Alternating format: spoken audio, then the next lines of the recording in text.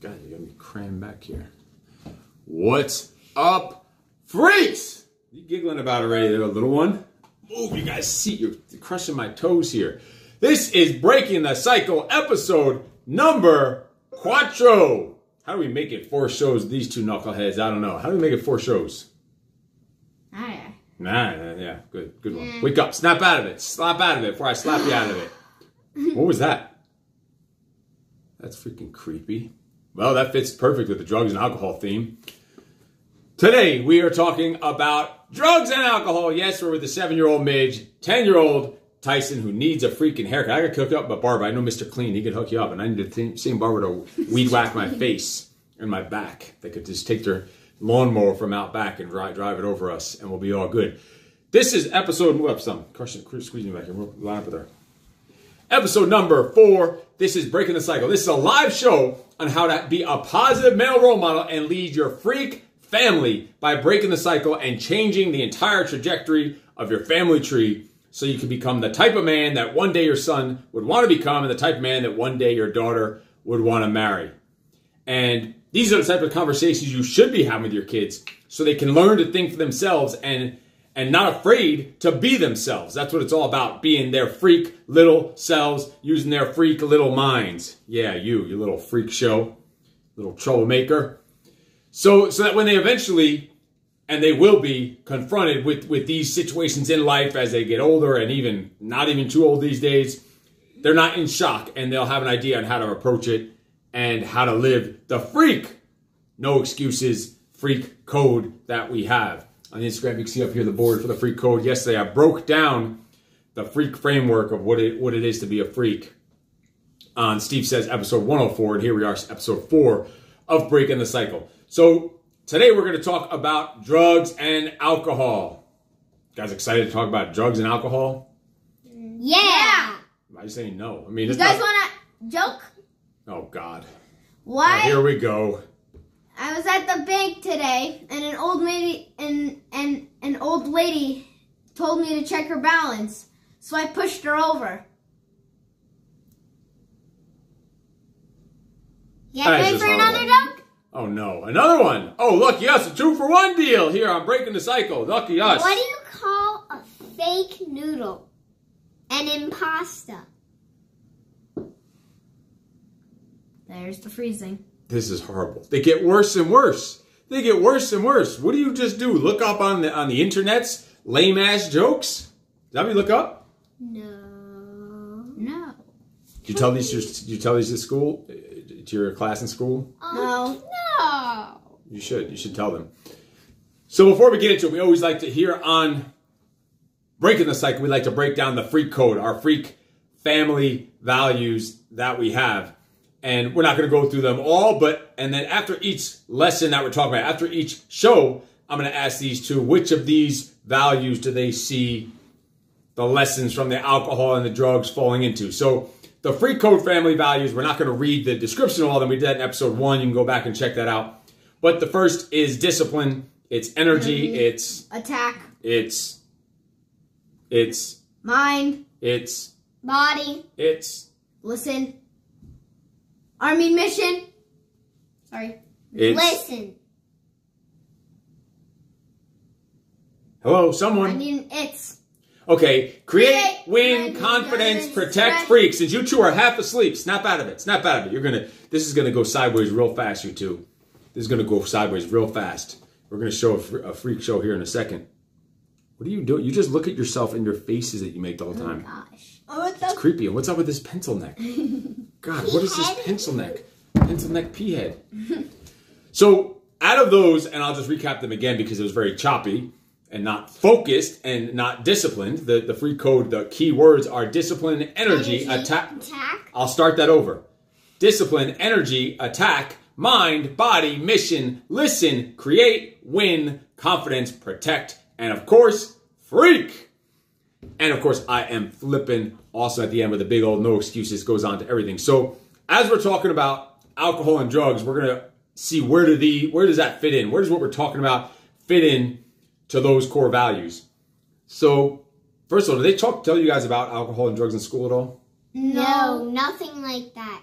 Just Are safety serious? about masks and learning. Yeah. That was the That's same it. thing we said about the creeps. Are you serious? They don't tell you about drugs and cigarettes and alcohol and Um, my teacher did mention it one time. She said, You're not allowed to bring your parents' gun to school. You're not allowed to bring Nerf guns. You're not allowed to bring alcohol or Water drugs." guns, not even all right, water but that's guns. but they don't tell you, talk to you about it or teach you about it. No. No. No one, you know, they don't have like a a cop, a police officer come and talk to like in school, like an assembly to talk to all the kids in the school about Police officer did just come, but he just like. probably to arrest you for something. You probably brought some lethal Nerf gunner with you or something that you you you modified. Oh, I did. Ha- I do have actually a lethal Nerf gun. not lethal. So they you seriously they don't tell they don't like we used to have assemblies where the police officer there was like a, a drug officer who would go to the schools and like teach kids about was like first grade second grade they used to do that they used to bring a big police car they'd pull it into the gym of the school and it was like all these drawings on it with like eyes it was like a person looked like a face on the police Wait, car really? yeah What gym of the school? We don't have a gym in the Wait, school. really? In first grade, a Yeah. police car? every grade they would have a D.A.R.E. it was called D.A.R.E. in New, York it's what it's called I can't believe they don't have that here Holy. I and they would have you know, you know have an assembly do you ever have an assembly with whole schools together Yeah. Yeah. It's wh- just about like music. uh, uh, one time we had uh, an assembly outside, but it was just for Patriots Day for the flag salute. So this is this is exactly why. All right, whether you're homeschooling or not homeschooling, you need to homeschool your kids. Even your kids are going to schools, public schools, private schools. You still need to freaking homeschool your kids. What is that? D.A.R.E. is fifth or sixth grade. Dave Eckert. No, but they used to come to. They used to come to our school. We were in second grade. I remember they were coming and, and telling us about say no to drugs. They always do that. Oh no, we we had that say no to drugs, but they didn't talk about it. Yeah, it's called Red Ribbon Week, where they just say not to do drugs and that's it. But they do have a magician come there. A magician. He's Yeah. probably a crackhead. No, his friend Is he high? His friend Are they all fucked up? Are they all drunk and high?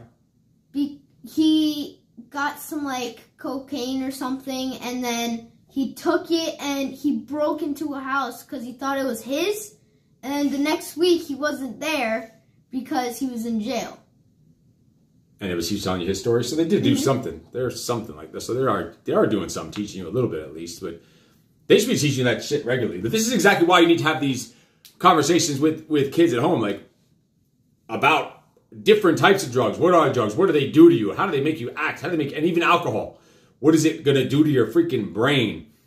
Like the word cocaine and the word heroin and crackhead are not like big shocks in this house. We're not afraid to talk about this shit.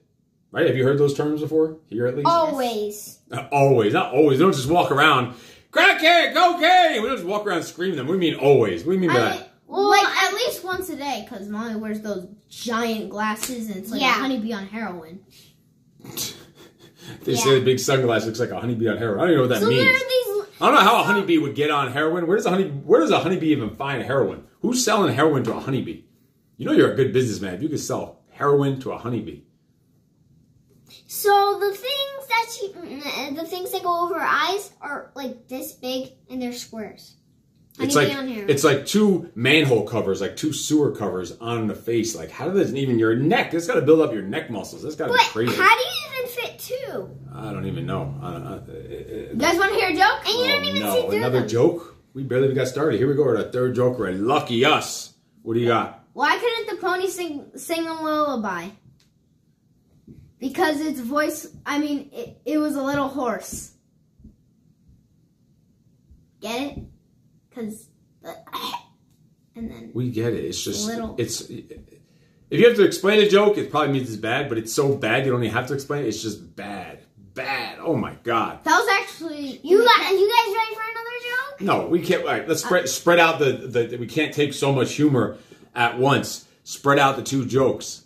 As I just spit a hockalooey over there. Would you sit still? You're bouncing and kicking all over the place. Jeez. Talk about a honeybee on heroin. So, have you, have you two ever seen anyone drunk before? yes. Yes, many times. You've seen like on like on the internet, and we've seen people like a lot of those Mm, videos and stuff. First, we'll get to that.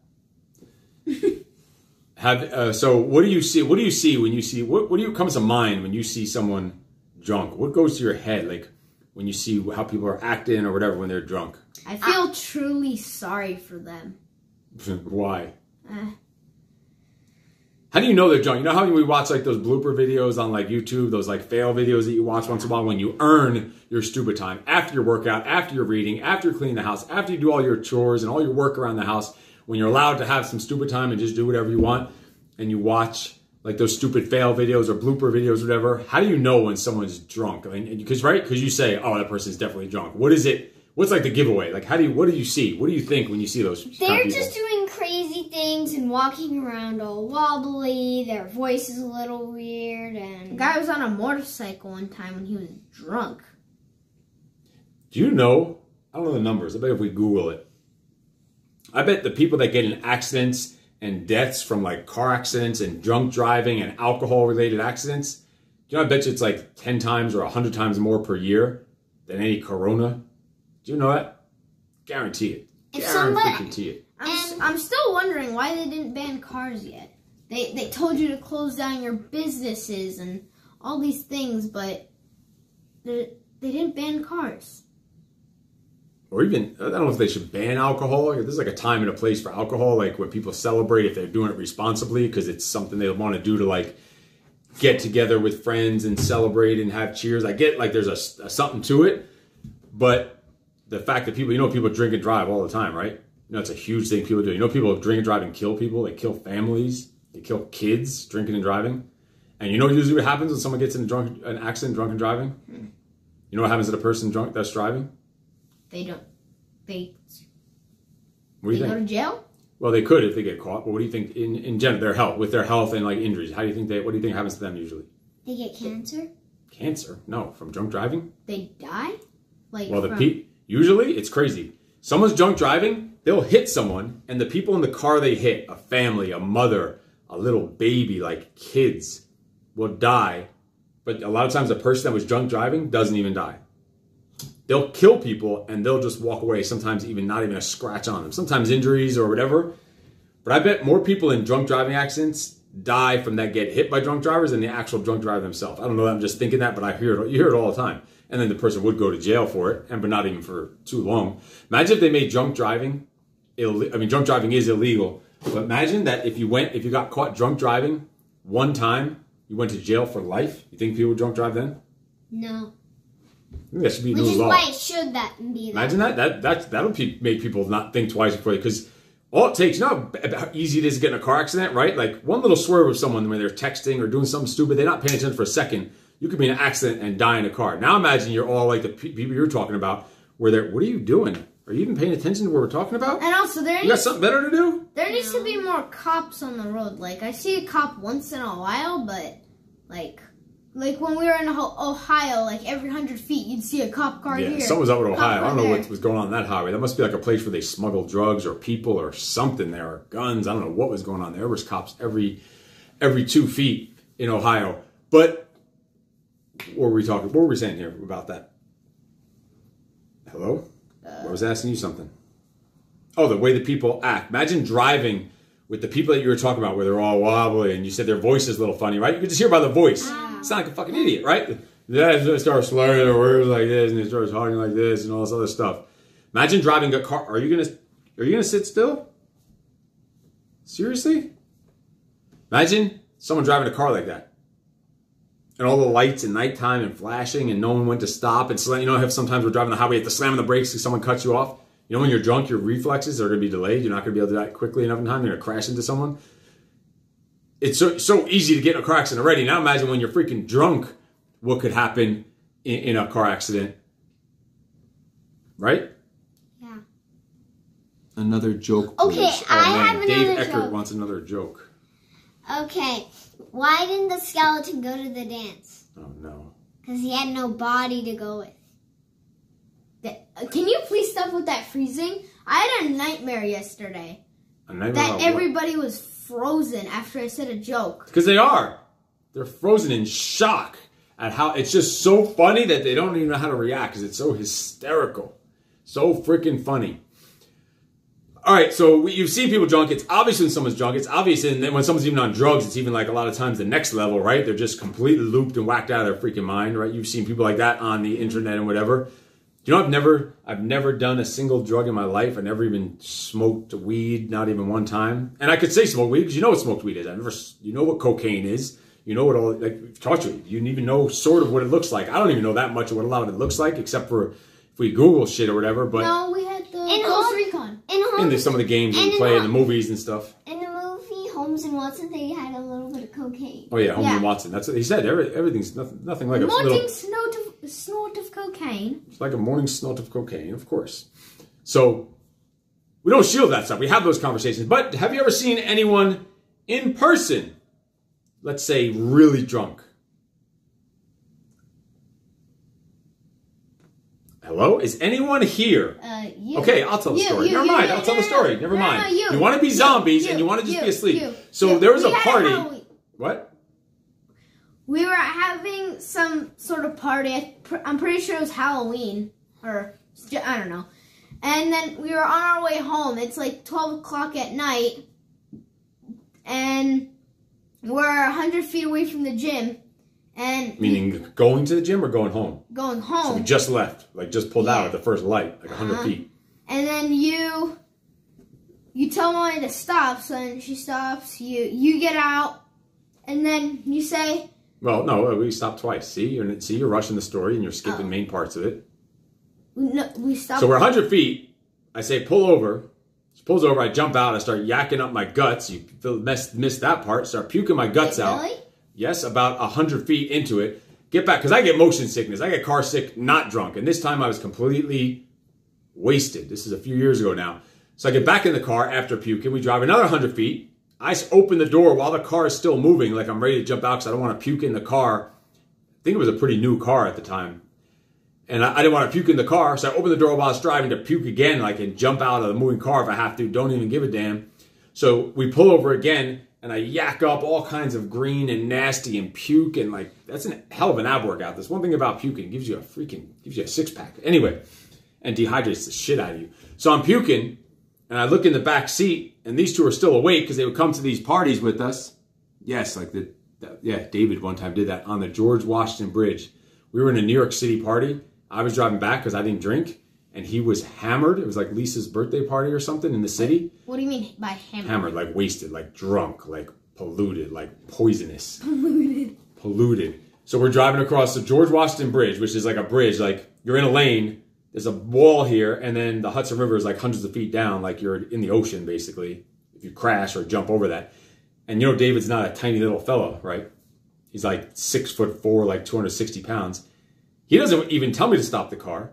He doesn't even open the door. He hangs his big freaking, what's that? What's that character's name? Shrek, his big Shrek body out of the window while we're driving like 50, 60 miles an hour. His whole big body is hanging out to start puking out of the car on the George Washington Bridge. Why'd you a giant? Huh? Why'd you a giant? Giant? That he's a giant, I guess. He's hanging six foot four, 260 pounds out of a moving car across the road. That's what happens when you get polluted. polluted. Fucking hammered. That's what happens. so, all right, so back to the story of the, I- I'm there puking on the side of the road. And I thought it was I said give you my gun, but you said what did I say when I was I, I, I, I couldn't get back in the car. So what did I say? you had the Ka-Bar i think the Ka-Bar, the Marine Yeah. Corps knife. uh-huh and you said give me my knife You're, you're not a. You say you want to tell the story. You're not a good. no So I'm said- puking on the side of the road for the second time. And I know if I get back in the car, it's going to get worse. I'm going to puke this green, like stomach bile goops of nastiness and and hockalooey snot stuff all over the car, which I don't want to do. So I don't want to get back in the car a third time I know it's not going to end well. So I figure I'm just going to walk home. So I, I, I look over to the Russian and I, I thought it was I said give me my gun, but he said so I said, and I can't barely talk like mid said. You hear them mumbling and stumbling, and I just said, yeah, "Give me my knife. I'm gonna walk." And I'm they can barely even talk, and like talking like this, like mumbling, bumbling, can't even get the words out. And my dumbass thinks I'm gonna fucking walk home. Thinks that I'm gonna walk home. What's up, Isaac? Came here for a Suffering Saturday workout with his son this Saturday. His hands are just healing up all the scars. So I think I'm gonna, my dumbass is gonna walk home at midnight with my gu- knife or gun or whatever it was, completely trashed, puked all over my damn shoes and my feet, and I'm gonna walk home. It's like a, it was like a 15, 20 minute drive, and I'm gonna walk that whole distance, how many ever miles that is, in the middle of the night, wasted with my little knife or gun or whatever it was. So she's like, dumbass, get back in the car. So I get in the car, whatever. From that point, I decided I wasn't gonna drink for an entire year. And I don't know if you guys remember this, we were eating dinner and the year was up. I didn't drink for an entire year, not a sip of alcohol for the entire year. And we were having a conversation. You two brought it up, like going back and forth, and you knew the year was up. You probably don't remember this. This is in the old. old I don't ha- remember this is in- anything. this is in New you York. Said, everything you just said sounds like a new thing to me. well, you were there for all of this. You saw the puking. Because listen, when I puked in the car, and I, I you, looked. pu- you puked inside the car? I mean, some of it got like on the side and on my foot and on my pant leg, my clothes. Fucking stunk. When I puked and I'm leaning over like a fucking loser, like a crackhead on the side of the road, and I look in the back seat and I see you two sitting there. You both were awake, and you both were looking at me like this with like squinty eyes, like with like the way a parent would look at like their child, like in disappointment for doing something stupid, like a kid that a baby that took their diaper and smeared their shit all over the wall or something, and you would look at that kid with like squinted eyes, like, "Are you serious?" And you you were like, I don't even know, three, and look like that look that you usually gave me. I said, "All right, I'm not drinking for a year. This is pathetic. I'm a pathetic fucking human. I'm a fraud. Like, look at me. I'm yakking with these two little kids looking down on me like I'm a loser." So I said, I'm not going to drink for a year. And you still remember we were at dinner in our house in New York. Are you falling asleep? Are your eyes even open? Are you still no, I'm squinting doing at the, I'm doing the squinting. Or are you still squinting at me? But this is old. You shouldn't be looking at me like that anymore. That disgusted look. You're disgusted at your papa now. So the year is up. It's the 365th day of not drinking, not a single freaking sip. And you two started a conversation back and forth, bouncing. You don't even remember. But you were in this conversation, and you kind of were saying, Tice, you were like, so you didn't drink for the whole year. Are you going to now have a drink now that the year is up? And I said, you know what? Maybe we will. Maybe we'll have some wine with dinner just to like celebrate making it a year without drinking. And I'm not even a big drinker, although there are serious freaking drunks and alcoholics in my family tree all the way down the line, probably back to the fucking Titanic, but or the Ice Age or the caveman days that we're still living in.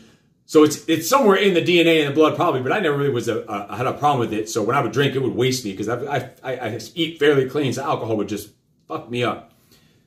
So you said some. You two were having this conversation, saying something like, uh, "You're you didn't drink for." You asked was gonna have a drink. I said, "Yeah, probably gonna have a drink tomorrow, just for the hell of it." And you like did the squint again. You did the squint again. Like that just shake, like, and you said something like I don't remember the exact words, but you said something like, "That doesn't even make sense."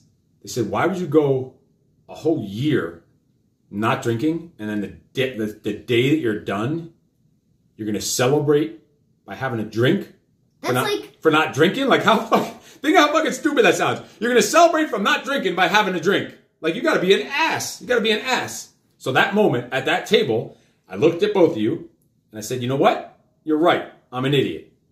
And see, I'm not always right, Dice. And and that's what you got to do is, is, is say when you're freaking wrong. Say when you, you're stupid, when your ideas are dumb, when things don't make sense. And I said, you know what? I made it a year.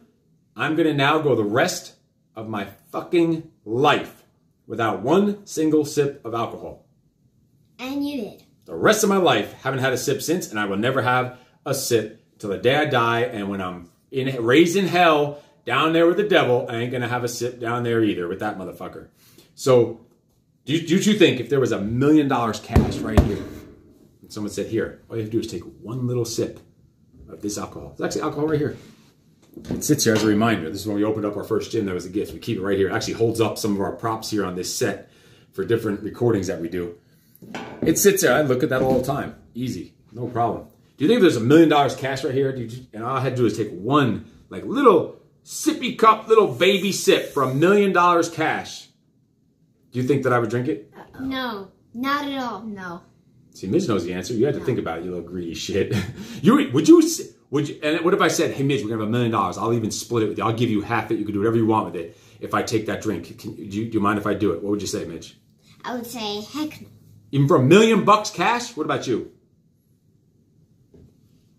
Hold on. No. I'm gonna. Is squint. that a question or an answer? Exactly. Is that a question or an? Are you you asking me or telling me? Exactly, Midge. I'm gonna do the squinty eye look at you. So you want me to break my discipline and break? Looked in my kid's eyes and said I will never drink for the rest of my life, no matter fucking what. You want me to compromise that and give that up for a million for some money, No. For some cash you could just make Some- more of? Think about that. Some- Doesn't matter if it's a billion dollars. Doesn't matter. Okay, now that one. Nope. How could you? You're gonna break who you are for some piece of fucking paper with some presidents on them? Break who you are and who what you stand for, and what you told you want me. So that means I could just lie to you and then t- tell you one thing and do the opposite.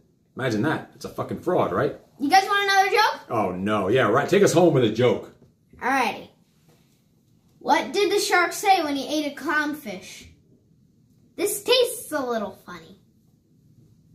There's the freezing. And the squint. And then the you're getting squint. the squint even. You're And getting then the, the you're getting the looking at your drunk dad puking squint. That's what we're gonna call it. The puking squint.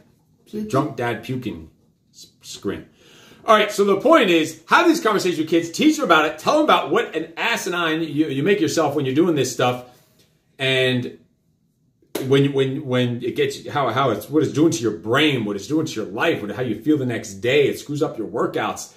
Just having the discipline of passing up on stuff when everyone else is is drinking and doing all the little snorting the little morning line of cocaine like in the in the damn movie. You guys ready for another joke? Oh no! Wait, hold on. Before we do this, tell me of, of all these core values: discipline, energy, attack, mind, body, mission, listen, create, win, confidence, protect, and freak. Which one of those kind of fit into what we're talking about today? About thinking about what alcohol and drugs are doing to your body and your mind and your your, your control. Which one do you think those it's affected, and which ones will we be going against in our Wait, core can I say more than one? Of course, it's a bunch.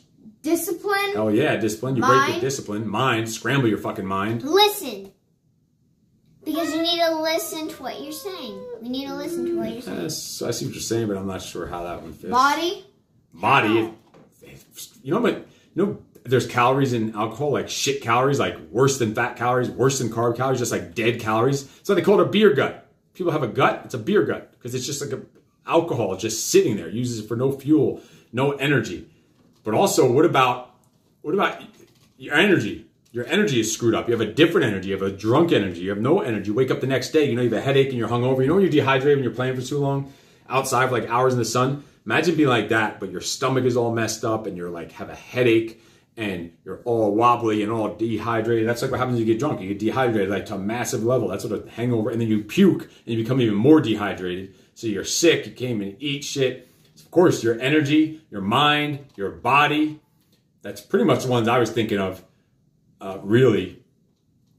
And what what else? I guess your freak. Your freak self is being your freak self because when you're when you're doing that dumb shit, it turns you into someone else. Like if you saw some of the dumb shit I did when I would drink. I used to drink when I was like a teenager. I would drink. Really? As in the Marines, I would drink. I would do some stupid shit, cause some stupid trouble, What? just dumb shit. I don't even know. Okay, you guys ready for my joke? All right, let's wrap it up. Let's wrap up episode four with a joke. Let's do it. What do you got, Midge? What did Chucky wear to the dinner? Well, how did Chucky look when he went to the dinner? Sharp. Oh my lord. And I made that one up. You made that one up? Yeah. Then it's actually pretty good if you just made that up. It's a pretty good one. I hope you, all the rest were Because it's not on it. real slick. Go back to the top. it's not on yeah, there. yeah. Go. Daddy school to the top. Okay. Exactly. All right, so this has been episode number four with the Little Freak Shows, Tyson and the Midge. Episode four talking about drugs and alcohol. Say no to drugs, suckers, and don't be a drunk, bumbling fool, especially in front of your kids. They're going to give you that squinty eye look, and they're going to make commitments like I did. That's that's the ultimate discipline. I will never have a sip of alcohol the rest of my fucking life, no matter what Ding. happens. I will never do it. And to, to know that, and to know that I made that commitment to myself and created that discipline, you know how sharp that keeps me just knowing that I have that capability to make such a have a, such a discipline. It, it, it fucking carries over into all areas of life. Although one time. Ready for a joke? Oh, maybe he has a joke. Okay. Sure. The guy puking that puked outside of the. the this is a true story. Hanging his big, you know how huge David is. Mm-hmm. Hanging out at like 50 miles an hour, going across a George Washington Bridge. Like he would have fallen over and been swimming in the Hudson River somewhere. You think he would have? What, What does a milk milking- a milking stool Why does a milking Milking stool stool only have three legs? Uh, I don't know. All right, what? Milking stool. I don't know what a milking It's like when you milk a cow. The cow has the udder. Oh my God, he's just. Oh, See, now you know why I, I just. oh my god. His are just as pathetic as yours. Congratulations, Dave Eckert. You officially have the mind of a, a seven-year-old grade school girl. Excellent Seven jokes. grade? Grade school, like in school. Oh. All right, this has been episode number four of Breaking the Cycle. One more thing. Oh no, no, no more! I cannot take no, any it's more. not. It's not a joke though. One time you said maybe all three of us would get drunk just for the heck of it.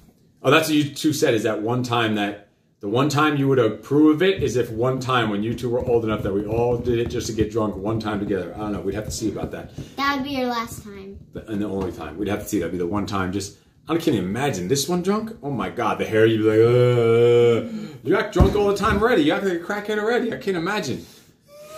Look at you. Very, very normal children. All right, this has been Breaking the Cycle, episode number four. We gotta roll. We gotta go eat some food and feed the beast. We gotta feed the udder, the udders of the cow. We gotta eat some cow. All right, in case no one told you yet, today you are fucking awesome. No excuses. Anything you want to tell them, freak shows. No!